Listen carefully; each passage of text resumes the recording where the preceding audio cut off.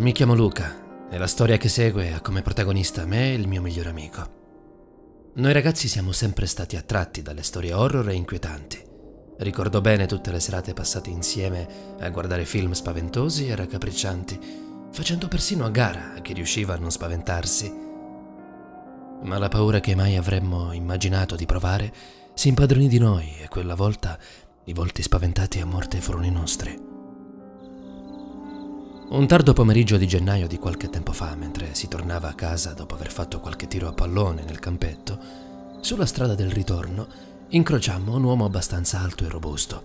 Aveva una faccia buffa, in parte era pelato perché aveva dei lunghi capelli solo ai lati della testa, per non parlare dei suoi denti sporgenti. Insomma, un personaggio che sembrava un vero cartone animato. Il mio amico appena lo vide accennò ad un sorriso, ma subito gli tappai la bocca dicendogli di evitare di prenderlo per il culo. Ma per quanto mi sforzai ad impedirglielo, scoppiò in una forte e grassa risata in faccia all'individuo, il quale si fermò per guardarci male. Di certo non potevamo prevedere quello che sarebbe accaduto. Continuammo a percorrere qualche metro e a un certo punto, per curiosità, ci voltammo verso la sua direzione e stupiti notammo che lui era ancora lì, immobile, a fissarci. Il suo volto però, a differenza di prima, aveva assunto un'espressione inquietante. Facemmo finta di nulla, non volevo dare l'impressione di continuare a prenderlo in giro, e così continuammo a camminare. Una decina di metri più avanti il mio amico si voltò nuovamente e guardandomi mi disse Sta tornando verso di noi. Inizialmente pensai che il mio amico stesse scherzando, ma non appena mi voltai vidi che era proprio così. Aumentiamo il passo, strillò ma giusto pochi secondi dopo il mio amico gridò Corri, corri! Mi girai per qualche istante e feci giusto in tempo a vedere che quell'uomo stava correndo verso di noi. Dopo un po' riuscimmo a seminarlo, così ci appostammo dietro l'angolo di una casa per sbirciare, se ancora fosse alle nostre calcagna. Per fortuna ci aveva perso di vista, ma continuava a cercarci. Andammo via e tornammo a casa. Purtroppo però la terribile esperienza non si limitò solo a quel giorno. Qualche sera più tardi, mentre camminavamo per le strade del nostro paese, notammo un'auto che lentamente ci passò di fianco. Si trattava di un'auto vecchia, un'auto anni Ottanta. Ad un certo punto si fermò. Pensai subito che stesse cercando un parcheggio ed infatti così fu. Continuammo a camminare, ignari di ciò che avremmo scoperto poco più in là. Il mio amico propose di sederci un po' su una delle panchine lì vicine. Passarono una manciata di minuti e quando riprendemmo a camminare sentimmo il rumore del motore di quell'auto che si accese e iniziò a procedere verso di noi a passo d'uomo. Guardando meglio mi accorsi che dentro l'automobile c'era lo strano tipo di qualche sera prima. Appena realizzai ciò, iniziammo a correre a più non posso, come dei forsennati, fino a raggiungere una strada sterrata dove l'auto non poteva raggiungerci. Ormai avevamo seminato l'automobile e vedevamo solo la luce dei suoi fari. Dopo un po' andò via.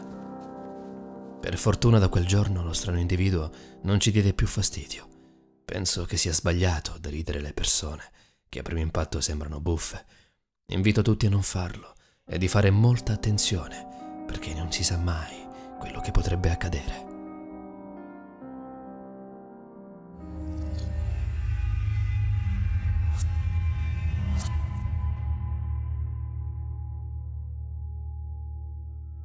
Sono Andrea e abito a Pedrengo, un paesino vicino Bergamo. Vi racconterò un evento tanto misterioso quanto raccapricciante. Tutto ciò risale a circa tre mesi fa. Io e la mia compagnia, per quattro giorni a settimana, andiamo a giocare a calcio nel campetto dell'oratorio, il più bello che abbiamo in paese. Per arrivarci passiamo attraverso una strada dove si trovano molte attività commerciali, come macellerie, negozi e tanto altro. Però non si trovano case in quella strada. L'unica che c'è ha un ingresso interno coperto di ghiaia. Il proprietario che ci abita è un anziano scorbutico che urla contro il primo che passa. Un giorno stavo andando come sempre verso l'oratorio. Passando davanti alla casa, vidi il vecchio che ammergiava con qualcosa di metallico. Poi si voltò e mi guardò. Così diressi lo sguardo verso un'altra direzione E lui, inizialmente con voce pacata, mi disse: Ragazzo, ti serve qualcosa? Io dissi: Nulla, nulla, grazie mille. Poi, più insistente: Allora cosa ti serve? Nulla. Così andai via di corsa. Una volta arrivato, ne parlai con i miei amici e ci scherzammo su, ma al ritorno decisi di cambiare strada per raggiungere casa mia. Il tempo passò in fretta e quando guardai l'orologio mi accorsi che era giunta l'ora di cena e mi apprestai a tornare subito a casa. Ma dimenticai un particolare. Il vecchio era ancora lì. Con le stesse parole si rivolse di nuovo a me. Io non mi voltai, ma sentii un brivido lungo la schiena però proseguì dritto fino a casa che distava 800 metri da lì. Ogni tanto davo un'occhiatina dietro per vedere se mi stava seguendo, ma nulla, era lì, fermo, con la sigaretta in bocca. Tornai a casa con il cuore in gola, ero davvero spaventato. Qualche giorno dopo io e i miei amici, essendo in giro, notammo un'auto che sostò poco distante da noi. Abbassò il finestrino, ma non si vide nessuno guardare. Noi ci guardammo per qualche istante ma continuammo a parlare tra di noi, mentre quella, piano piano, si allontanò. Io e il mio amico Luca fummo gli ultimi ad andare via. Accompagnato Luca, proseguì per casa mia, suonai il campanello e mentre stavo per chiudere il cancello d'ingresso, la stessa auto che vidi nel pomeriggio si accostò poco distante da me. Una voce familiare e assai inquietante mi disse: Ti serve qualcosa? Chiusi il cancello e corsi in casa chiudendo a chiave porte e finestre. Ancora oggi ho il terrore di incontrarlo.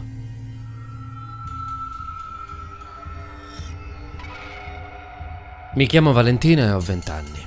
Vivo in un paesino in provincia dell'Aquila. Da piccola sono stata vittima di bullismo. Non avevo neanche un amico con cui poter uscire, parlare e giocare.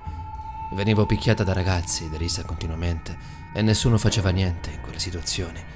Le persone, adulti compresi, rimanevano a guardare senza muovere un dito. Fui costretta a passare gli anni delle medie chiusa in casa da sola, senza parlare con nessuno. Finite le medie scelsi liceo psicopedagogico. Il primo giorno fui felicissima poiché avevo molta voglia di imparare, fare nuove amicizie e voltare pagina. Per i primi mesi mi feci un sacco di amiche. Uscivo e finalmente non ero più pervasa da quella sensazione orribile di solitudine. Conobbi così tante persone, da non ricordare addirittura i nomi di ognuna. Beh, tutto ciò durò solo qualche mese, poi iniziò l'incubo. Un giorno durante la lezione d'italiano mi arrivarono continue chiamate da un numero privato. Non ci feci molto caso, finché queste si trasformarono in sms anonimi con messaggi intimidatori.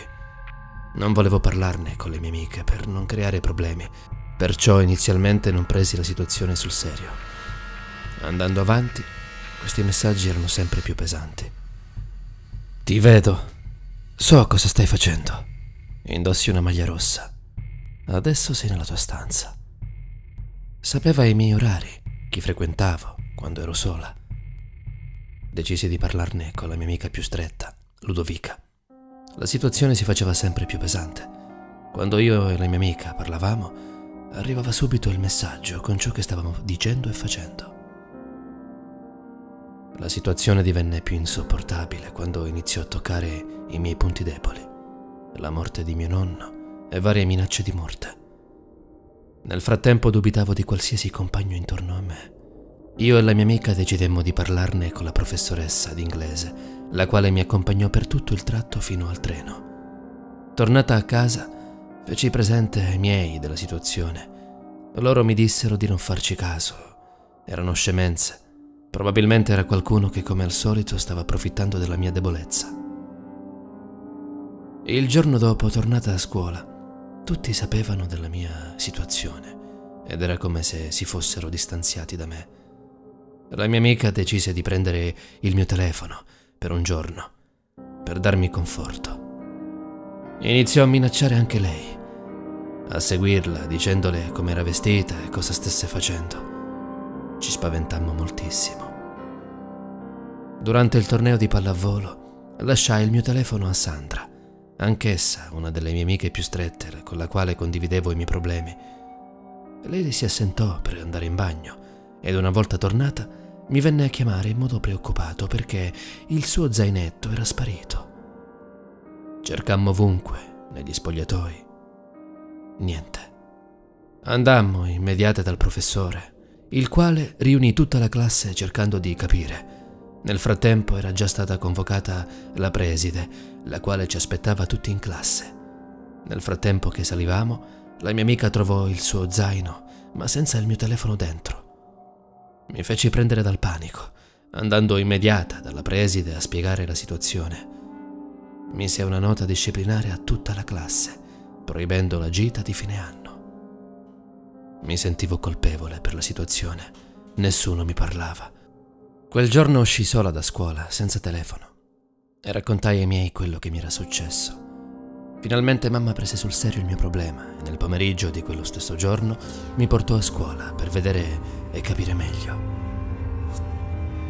La scuola, la polizia non fecero nulla. Semplicemente bloccarono il codice del telefono dicendo che non ci avrebbero fatto nulla con un telefono bloccato. Mi trovavo nella stessa situazione di quando ero alle medie. Nessuno mi parlava più. Non avevo di nuovo amici. Un giorno, tornata a casa, aprì lo zaino per fare i compiti e mettendo le mani percepì un oggetto.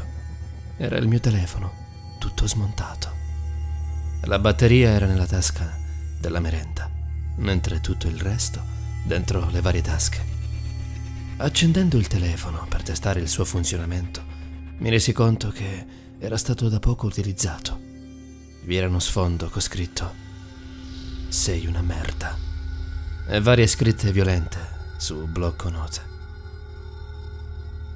Decisi così di cambiare subito il telefono e la SIM, dando il mio numero solo alle persone strette. Dopo tutto ciò rimasi con davvero poche amiche, che con il tempo mi abbandonarono tutte, senza farmi notare troppo la loro poca voglia di stare con me. Adesso ho vent'anni.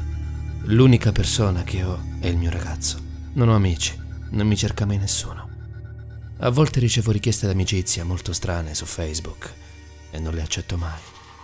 Quello che mi è successo mi ha segnata fisicamente e psicologicamente e credo che ne porterò i postumi per il resto della mia vita.